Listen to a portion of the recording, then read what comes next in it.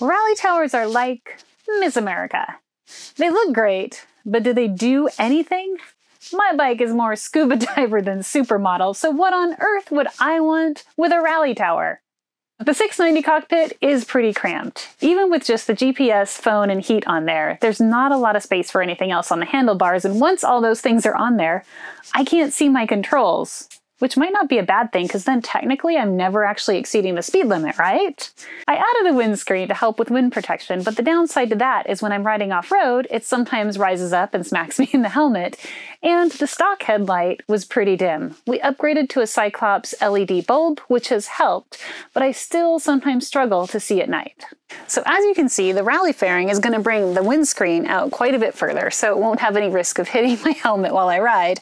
It's got space here for two headlights, a low beam and a high beam, both of which are going to be brighter than the headlight that I have now. And you can see all the space here will be stacked up with all the different farkles that I have on my handlebars. So I'll have my GPS, my phone, and all of my controls visible so I can see them while I'm riding. With the stock headlight, it's a really broad beam pattern, but it only gives you about 150 feet of usable light. With the Cyclops, it's a 20 degree beam pattern, but gives me almost 700 feet of usable light. For somebody like me with night blindness, that's going to greatly increase my confidence while riding at night. We are going to take you step by step as we install the Nomad ADV Rally Tower with Cyclops lights on my 2019 KTM 690 Enduro R. We're going to start by reading all of the instructions so that we know exactly what we're doing and that we have all the tools and parts that we need. So let's get started. We're going to get started with step one. We're going to take the headlight shroud off, the seat, the radiator covers, and we'll bring you back when that's all finished.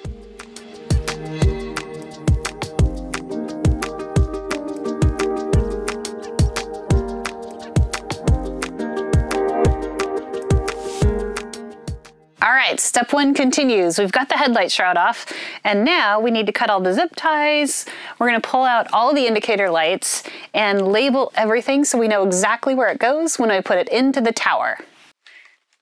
You just pull. I didn't break it. I'm gonna label it, it's neutral.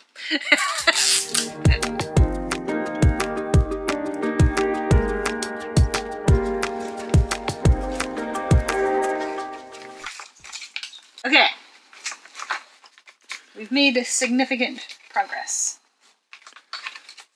These three are where they're supposed to be.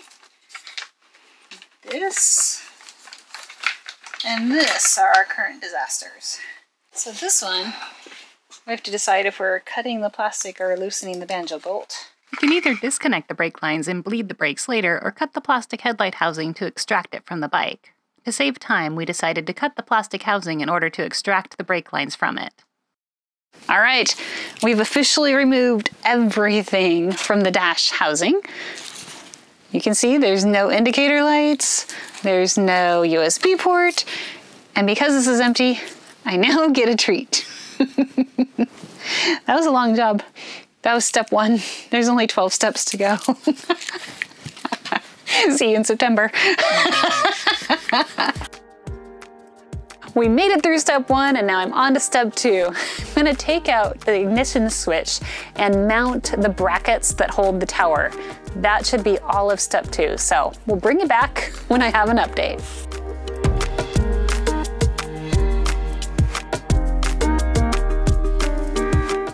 They've re-engineered the frame mount. It used to be two separate pieces as far as we can tell from the picture, and now it's one solid piece. This frame mount here needs to attach back here to the ignition mount. So you can see there's, I was wrong, we didn't need to take the ignition switch off. We put the ignition switch here with a spacer and the mount, and now I'm attempting, you even see that in there? to try and twist that bolt in by hand, and then I'll tighten it down with the tool. Well, fingers and bolts don't work, so removed the gas tank. Now there's plenty of space to tighten down these bolts.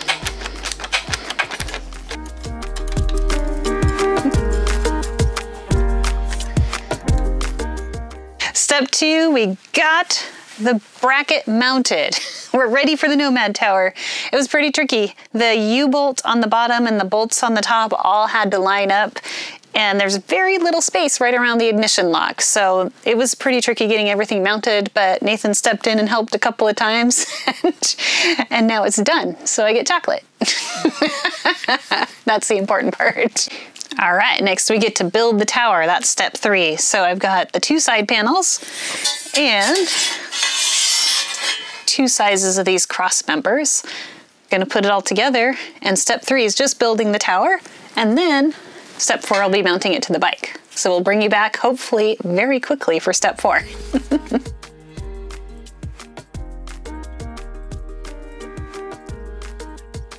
so once the tower is all built, then we get to Loctite each bolt and put it back together.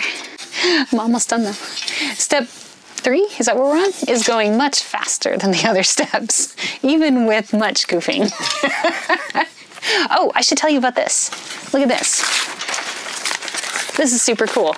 So I was not sure which bolts went where, and I had read all the instructions, but I forgot that it said to flip back through to the bolt chart.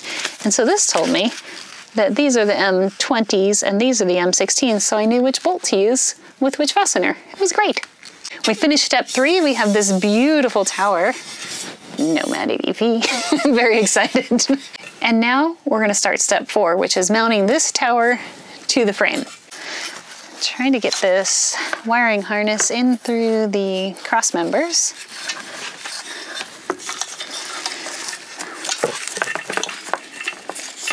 Not break anything, it's the goal. I just don't want to pinch it trying to fit M8 bolts through the tower and the mount. I got it through most of the way, but it is not totally lined up on the far side. A little gentle persuasion how to do it.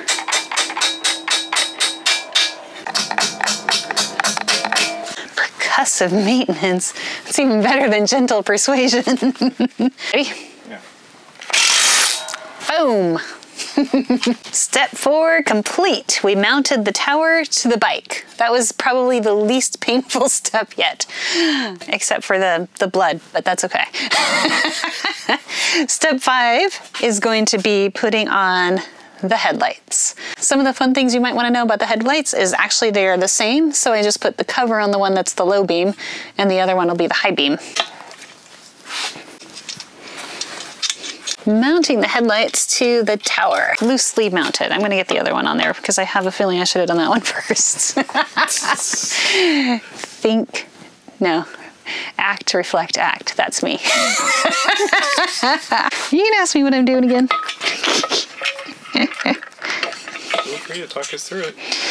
I am remounting that light so I can do the one on the top first because there was no room for my fingers with the mounted on the bottom first. What did the instructions say? Uh, I don't remember. You do. Um, they said to mount the lights. As shown in the picture. As shown in the picture. Oh, I forgot to look at the picture.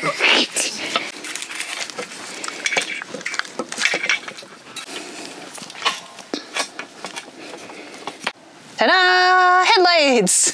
A little bit fiddly, but not too hard of a step. And now we get to go through and put the switches from the old dash panel onto the new dash panel.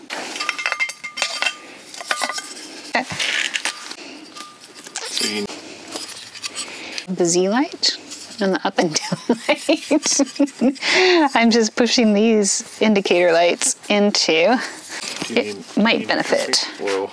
Danger mode. From gentle persuasion. ha! See? Gentle persuasion worked. dun dun dun! Step six is done. The dashboard is ready. And now we get to do headlight wiring. We've got the splitter that came with the kit. All I needed to know is that blue goes with high beam, so I'm gonna plug that into the top light. Green goes with low beam. I'm gonna plug that one in to the bottom light. And then once we get all of the wiring reconnected, we'll test it out. So we'll bring you back soon.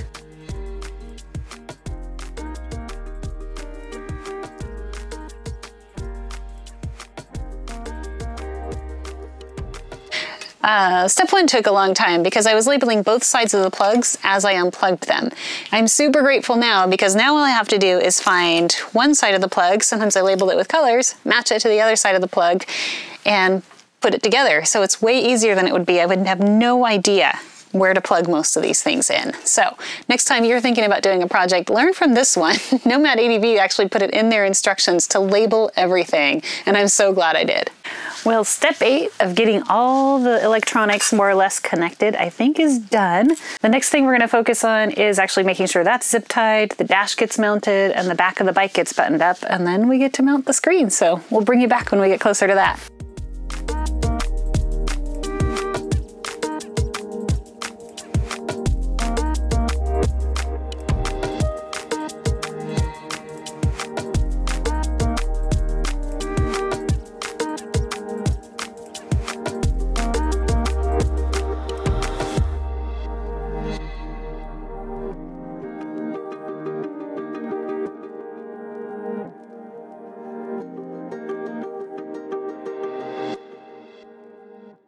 We are bringing it back for the screen, which was kind of a challenge.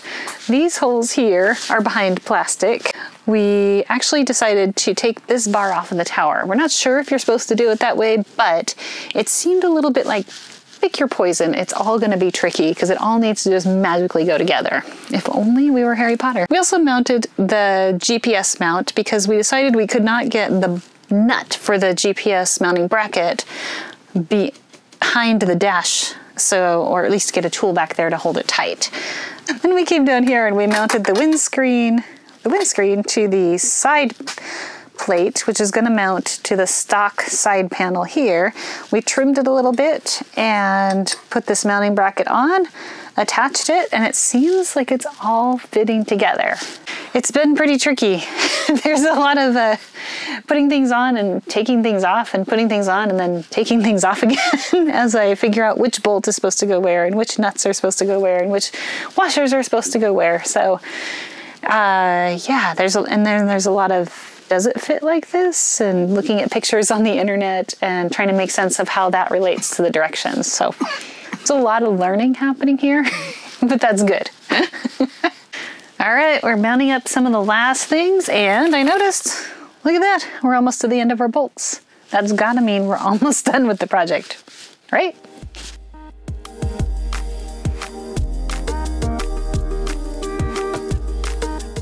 We are making some good progress. Everything is bolted together and now we just have to go through and tighten all of the most recent bolts that we did. But you can see on the bike, we've gotten pretty much all the side panels back on and we're just ready to tighten things down, add some blinkers and call it a day.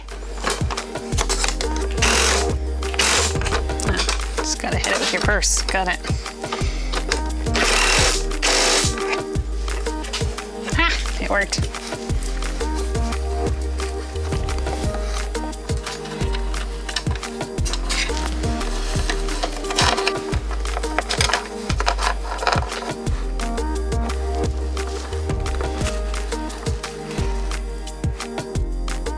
And there have it. We've got the Nomad ADV tower and the Cyclops lights, and it may not have been as easy as pie, but it was a lot of fun.